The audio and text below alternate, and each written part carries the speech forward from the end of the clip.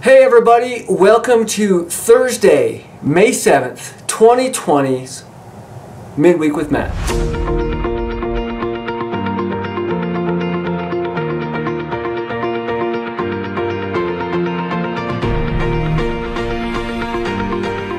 Now I know it's a little bit later than midweek, it's like late midweek, but I'm glad you decided to join us today. And the reason why we're doing a little bit later today is because today is the National Day of Prayer. Now my original plan was not to start it on a Thursday and it wasn't to talk about prayer, but because today is National Day of Prayer, because of everything that is going on, that's where we're going to go. My original plan was actually to talk about our upcoming people from the Gospel Project that actually we'll be talking about this weekend. Two people by the name of Simeon and Anna, found in Luke chapter 2.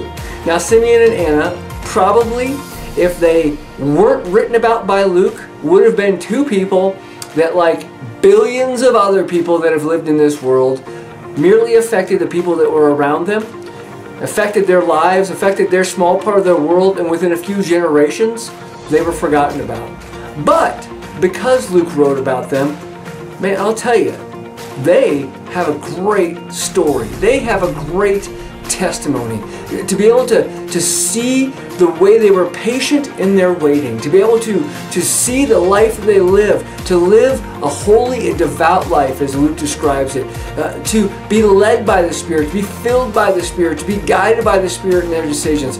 It's going to be an exciting thing to be able to talk about this week. And I'll be very honest with you, when we very first started, it was not something that I was excited about. I thought, oh, I, what are we going to talk about with them? But the more that I studied, the more excited I got about who they are, what they do, and even how much it fits into what we are dealing with even so right today. So I hope you can tune in this weekend as we talk about that. But because it's the National Day of Prayer, because we are where we are in our world, that is really what I want to focus on today.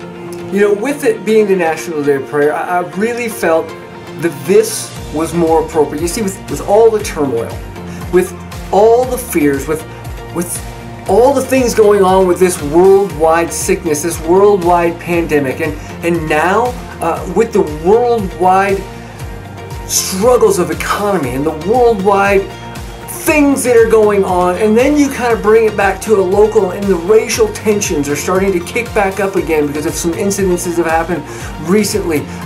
You know, there's economic insecurities, there's job insecurities, there are so many things going on. We need to pray for the presence of God right here and right now. We need to pray that God is known, and not just known, but His name is glorified in and on this earth through his people like you and like me.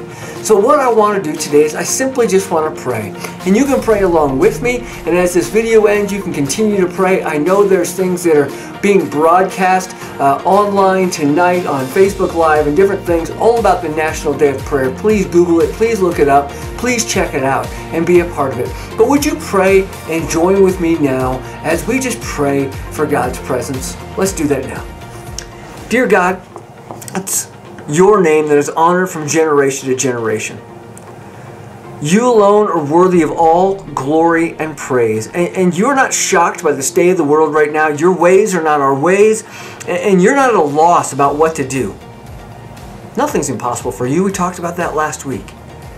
So today we're proclaiming that you will be glorified through this pandemic, that your name will be known and praised throughout the earth. I pray that you will visit us and make your presence known in our lives and in our cities. Give us faith. Give us faith to believe that, that you can change our worlds through prayer and through acts of love and compassion. Let your kingdom come on earth as it is in heaven. Help us to cultivate your presence in our lives. We choose to partner with you for transformation in our world. Use us, God. Help us to love our cities more. Thank you for removing so many of the distractions in our life that have kept us from your presence and brought us closer to you during this pandemic. God, I repent of any pride or personal idols that have taken me away from you in the first place and, and keeping me from being completely yours. God, I, I want you to take away any lukewarmness in my heart, and I, I want you to set me on fire for you. And I pray that for the people that, that are coming alongside me in this prayer as well. We also ask that you, you just pierce the darkness with your light. Shine brighter than the fears of death, the fear of economic ruin, or, or the, even the fear of a long quarantine. We look back on what you've done, and we want to say, when we look back on this moment, this moment in history, we will be filled with joy as we remember the revival, hope, and peace that came out of this season in our lives. God, we ask you to continue to draw this hurting world back to you, and it's all in your Son's holy name that we pray. Amen.